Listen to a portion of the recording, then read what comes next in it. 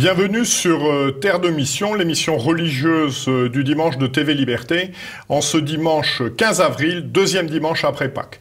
Trois séquences dans notre émission. Une première séquence qui sera une rencontre avec Guillaume Cuchet, qui vient d'écrire un livre tout à fait important, Comment notre monde a cessé d'être chrétien. Ensuite, dans une deuxième partie, en compagnie de Martial Bild, euh, je reviendrai sur le sacrifice héroïque du lieutenant-colonel Beltram.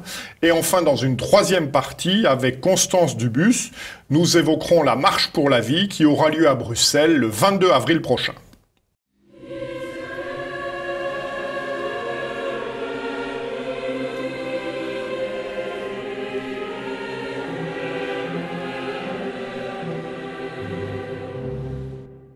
Bonjour Guillaume Cuchet. Bonjour.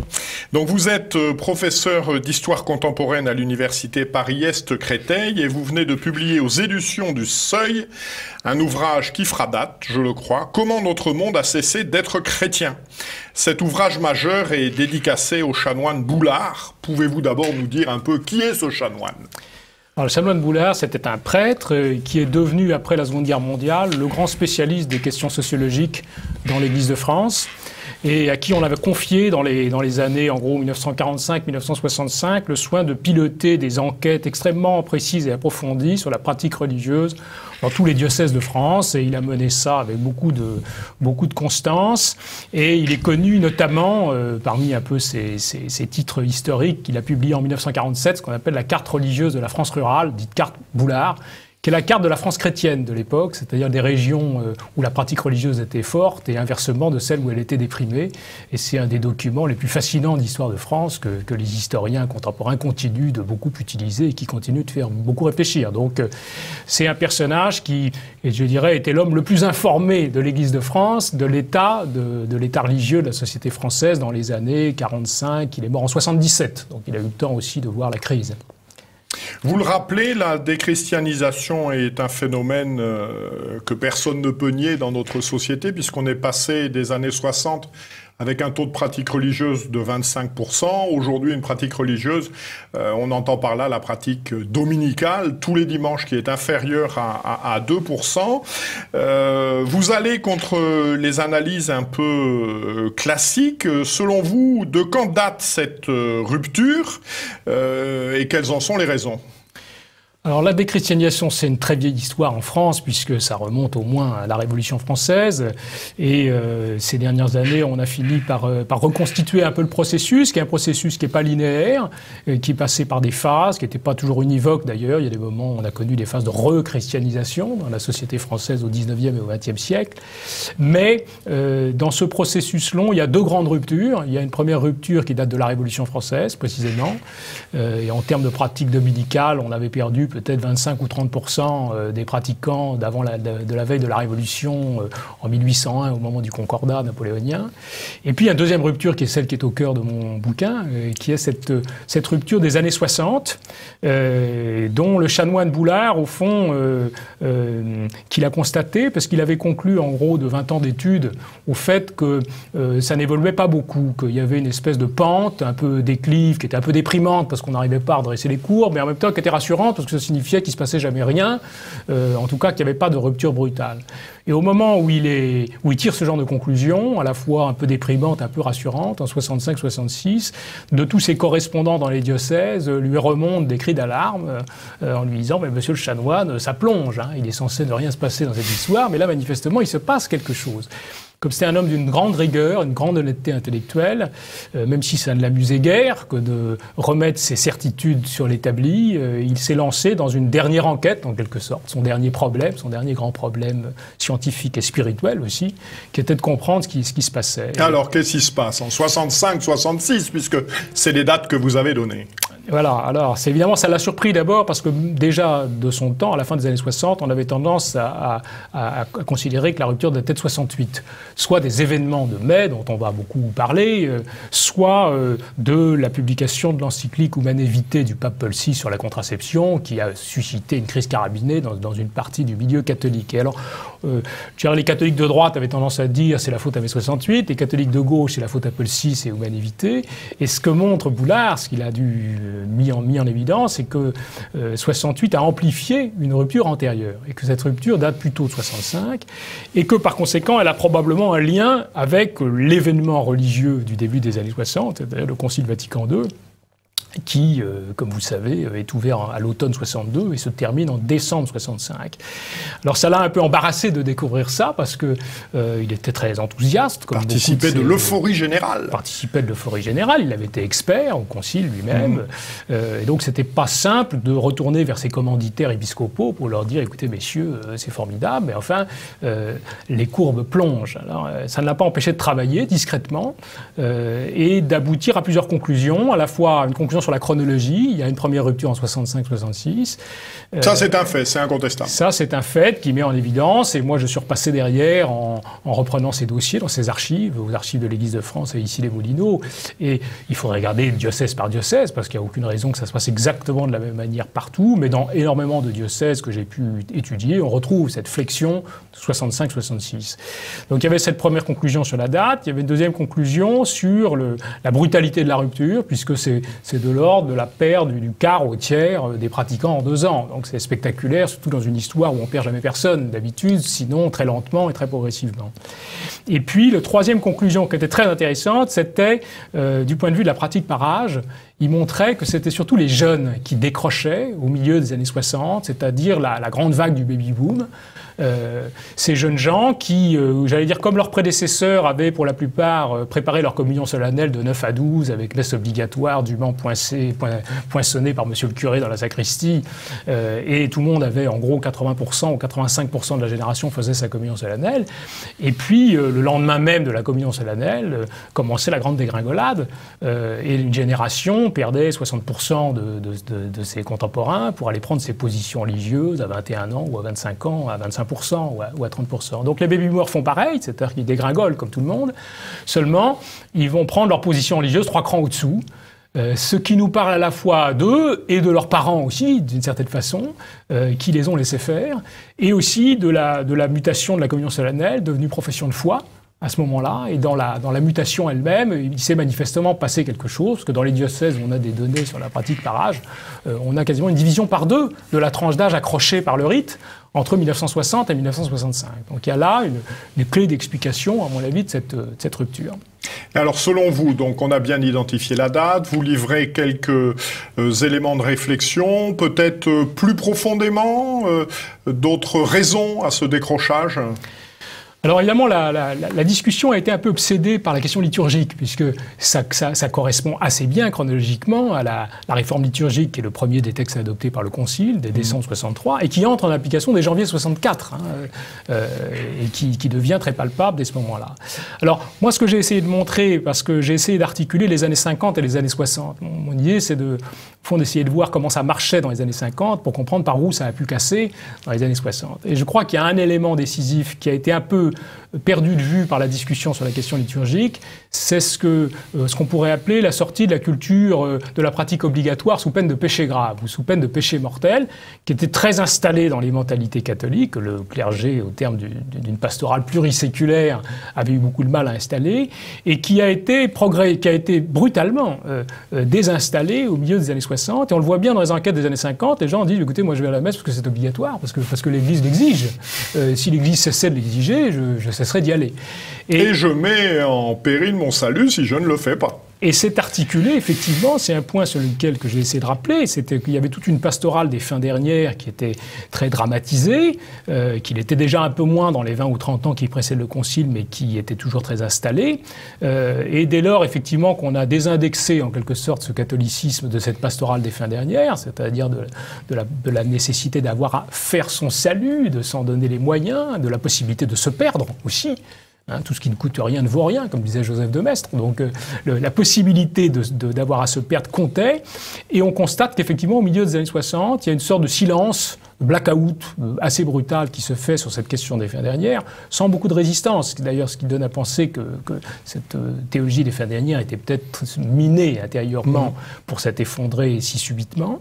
Mais euh, là, il y a eu un effet de déstabilisation globale de, beaucoup de gens qui se sont dit, mais au fond, on nous a parlé de ça jusqu'à présent avec beaucoup d'assistance, on n'en parle plus, sait-on bien ce qu'on nous raconte Vous il y a un effet de scepticisme, au fond, généré par cette variation de l'enseignement. Et selon vous, donc nous sommes aujourd'hui sur un étiage de pratique de 1,8-2% à peu près. Euh, est-ce que nous sommes arrivés au bout du bout? Est-ce qu'un redressement est possible, perceptible? Ou est-ce que ça va continuer à baisser? Alors l'historien n'a pas de boule de cristal. Moi, je ne sais pas ce qui va se passer, mais, il ce qui saisir est des tendances. Oui, ce qui est prolonger des courbes. J'aurais tendance à penser que du point de vue de la pratique dominicale, on n'est pas très loin de l'étiage en ce sens que moi je ne crois pas à ce que ce qu'Emmanuel Todd appelle la crise terminale du catholicisme français, qui me paraît assez en forme pour un malade en phase terminale, euh, mais il y a un changement de format absolument spectaculaire, et la pratique dominicale au sens où on l'entendait avant le Concile, c'est-à-dire qu'il va à la messe tous les dimanches, pas une fois de temps en temps, euh, est aujourd'hui à, 2% ou un peu moins de 2%. Je pense qu'on n'est pas loin de l'étiage parce que le, catholicisme rural populaire qui a longtemps fait l'étau a quasiment disparu du fait de la crise des vocations en particulier et du fait que le maillage paroissial euh, n'est plus assuré. Ça, a, laminé la, pratique euh, rurale. Donc à mon avis, on n'est pas très loin de, de l'étiage du point de vue de la pratique dominicale. En revanche, du point de vue du catholicisme déclaré, je pense qu'on n'est pas au bout du tunnel, dans la mesure où il y a encore aujourd'hui peut-être un Français sur deux qui se considère catholique quand on lui pose la question dans la rue, mais une enquête récente sur la religion des jeunes Européens montrait qu'en France, 24% des 16-30 ans seulement se considéraient comme catholiques, euh, contre 10% de musulmans ou 2% de protestants, et 64% de jeunes Français qui se considèrent comme sans religion. Donc 50% d'adultes qui répondent qu'ils sont catholiques aujourd'hui et 24% de jeunes, donc je pense qu'il y a encore potentiellement une division par deux de ce taux d'adultes déclarés catholiques euh, parmi nous. Eh bien, je vous remercie. Je crois que de toute façon, toute opération de redressement passe par une observation lucide de la réalité. C'est ce que vous nous avez invité à faire donc, dans cet ouvrage vraiment passionnant que je recommande à tous nos téléspectateurs. Comment notre monde a cessé d'être chrétien, anatomie d'un effondrement par Guillaume Cuchet. Et puis aussi, si vous le trouvez dans des bibliothèques ou des librairies d'occasion, je crois qu'il est bien dans la continuité. Vous avez évoqué la crise du sacerdoce. Je crois qu'il y a un ouvrage majeur il faut avoir lu pour qui s'intéresse à ces questions. C'est l'histoire des crises du clergé français contemporain de Paul Vigneron. Donc voilà de bonnes lectures pour prolonger notre temps pascal.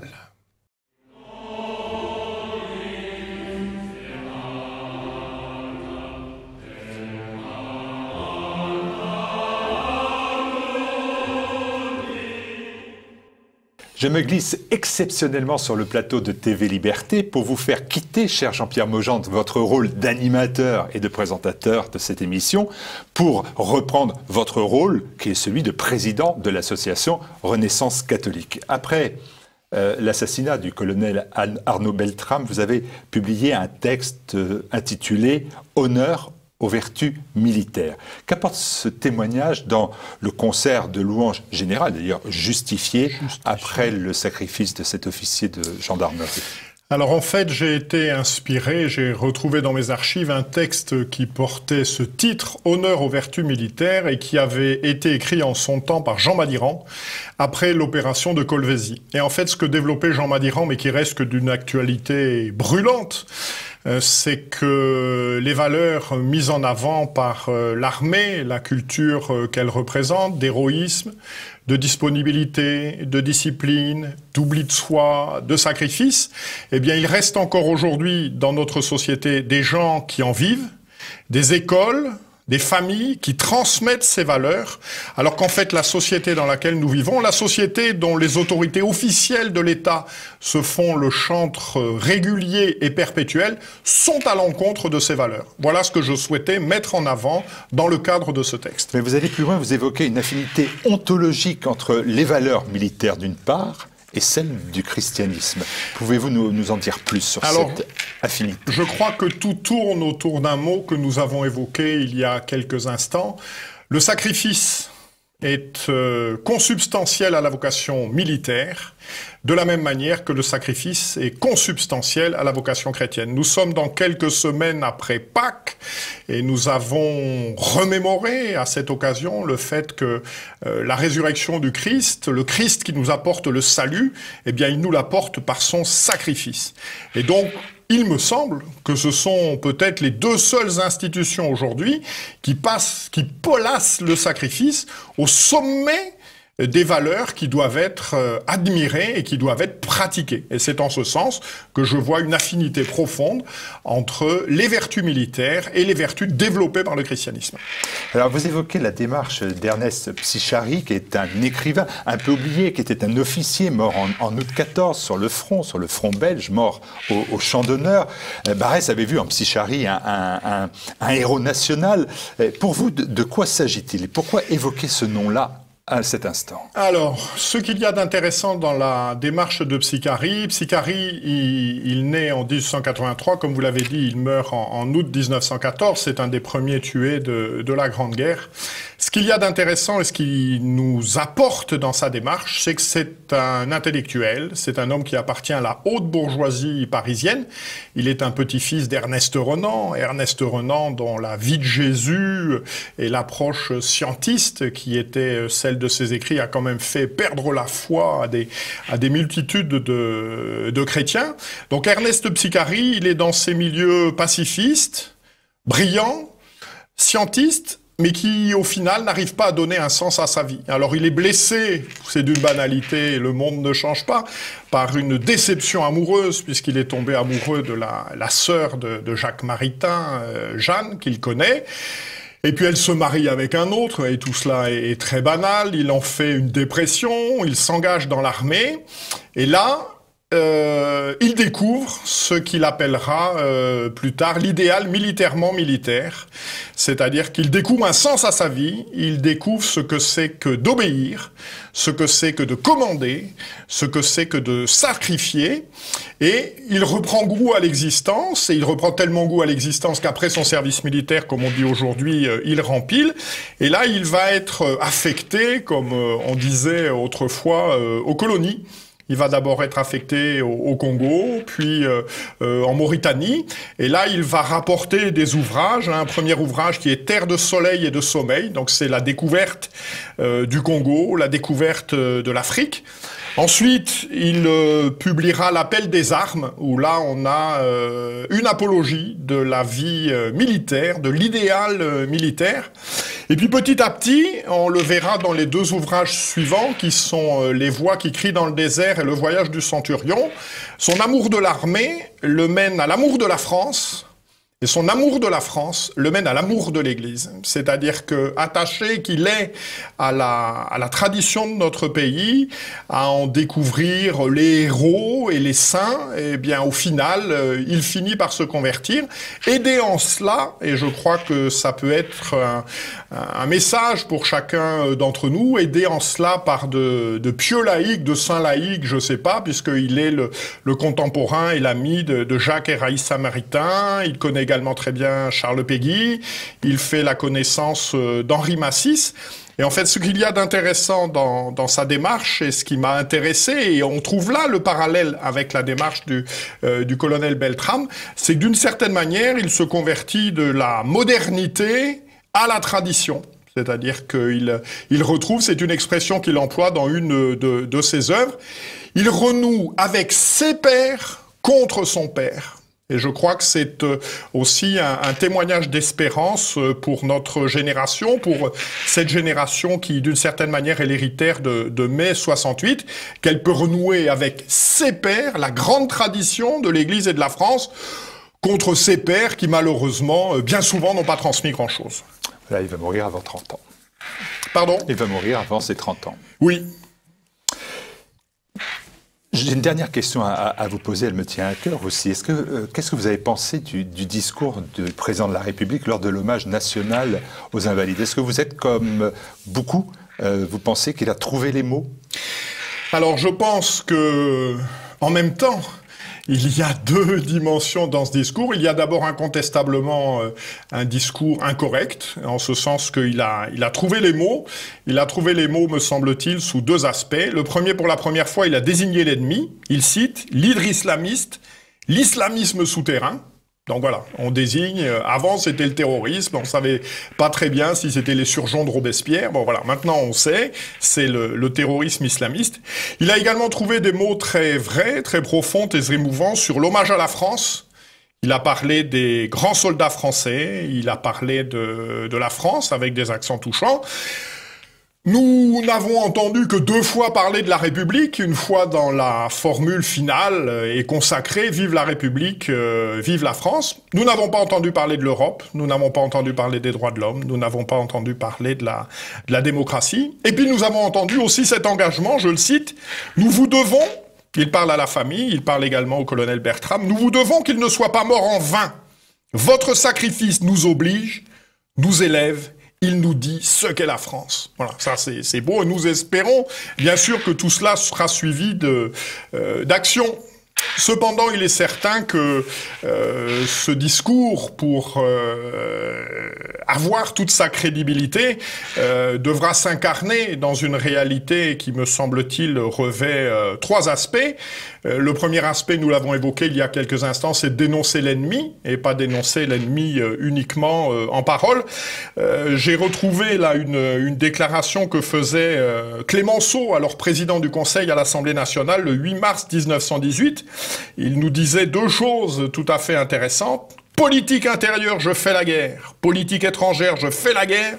Je fais toujours la guerre. Et dans le même discours, il faut savoir défendre la République, autrement que par des gesticulations, par des vociférations et par des cris inarticulés. Voilà, je crois que le président de la République devra s'inspirer de ces propos, il devra ensuite rassembler les Français et pour rassembler les Français, il faudra dire quel est l'ennemi et puis peut-être accepter de ne pas faire toutes les réformes en même temps qui fait qu'on se met à dos tout le monde euh, par rapport à ce qui devait être cet objectif prioritaire. Et puis on n'échappera pas, me semble-t-il, à une réflexion sur la nature même de la laïcité.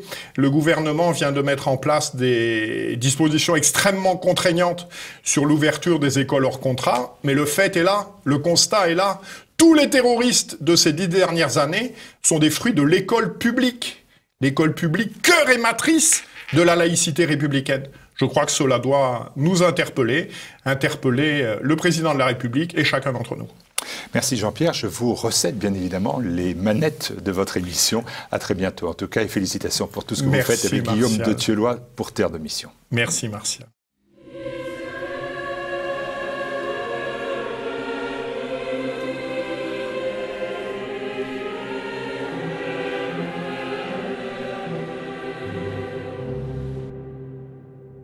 Bonjour Constance Dubus. Bonjour.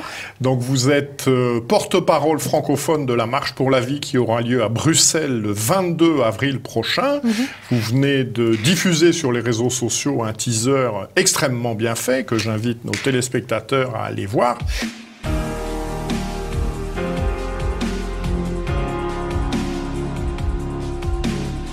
Alors quelle est l'actualité de la défense de la vie en Belgique à aujourd'hui? L'actualité en Belgique, donc elle est au niveau de la défense de la vie, est très critique euh, j'ai envie de dire même désastreuse. Et c'est pour ça que la marche pour la vie euh, a lieu chaque année. Euh, en trois points peut-être, l'avortement qui est dépénalisé en partie depuis 1990, donc est encadré par une loi euh, qui permet d'avorter euh, jusqu'à 12 semaines sans aucune condition médicale. Euh, et au-delà de 12 semaines, jusque potentiellement le jour avant la naissance, moyennant certaines conditions médicales. Donc c'est plus ou moins la même chose que ce que vous avez en France, sauf que l'avortement chez nous est encore dans le code pénal. il y a des propositions de loi qui consistent à vouloir le sortir du code pénal, à allonger les délais. Donc nous sommes vraiment sur, sur la pente glissante. Euh, assez menaçante. Au niveau de l'euthanasie, nous avons euh, légalisé, dépénalisé l'euthanasie en Belgique en 2002 et même dépénalisé cette euthanasie pour les mineurs en 2014. Euh, et alors maintenant, ce, ce qui s'annonce, ce dont il est débattu, c'est l'euthanasie pour la fatigue de vie.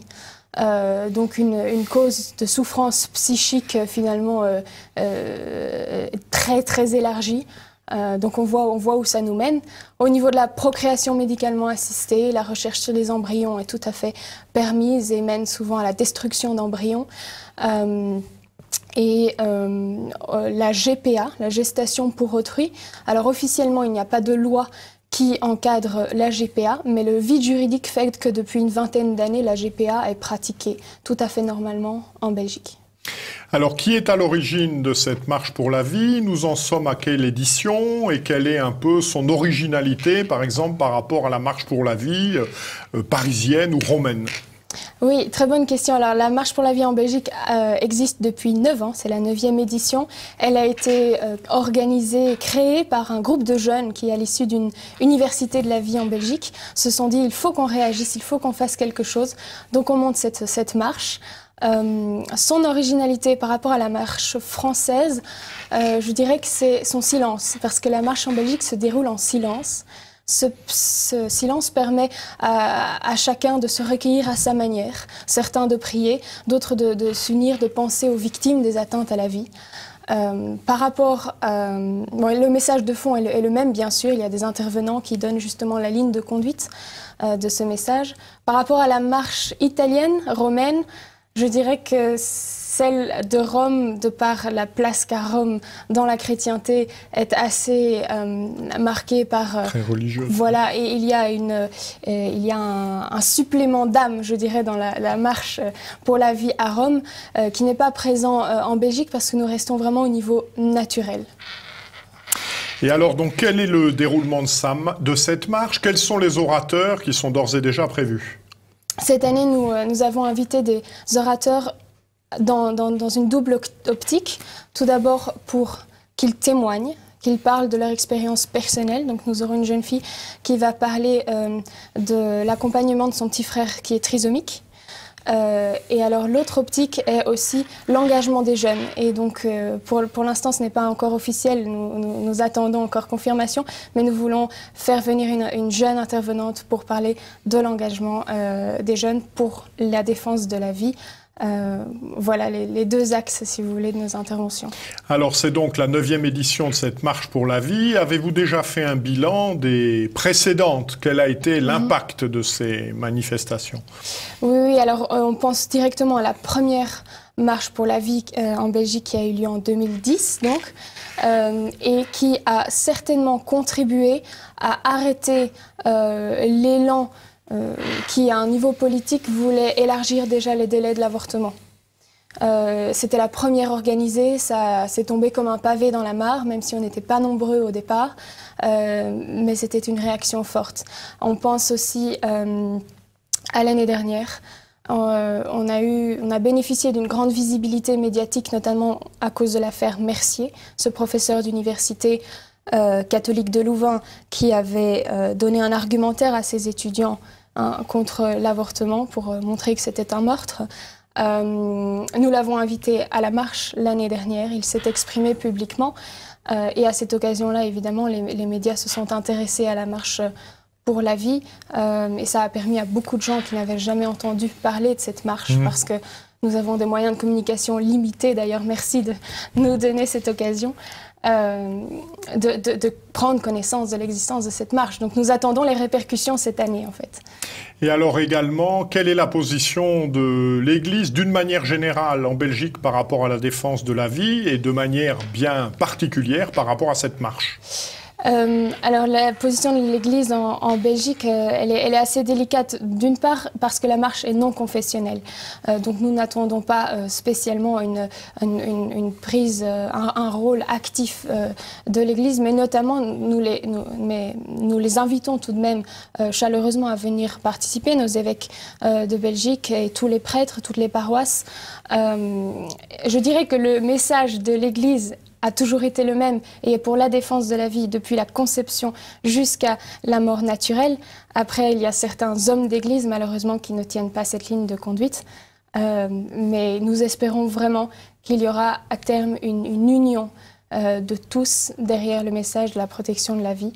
Parce que sur le fond, on est d'accord, parfois sur la forme, il y a des différences, mais nous espérons réunir tout le monde à cette marche. Eh bien, nous vous souhaitons bon courage donc pour cette marche qui aura lieu donc dimanche prochain, dimanche 22 avril à Bruxelles. Et donc nous nous retrouvons également pour euh, la prochaine émission de Terre de Mission, donc le dimanche 22 avril, pour ce euh, troisième dimanche après Pâques. Et d'ici là, que Dieu, qui est Père, Fils et Saint-Esprit, nous garde. Bon dimanche à tous.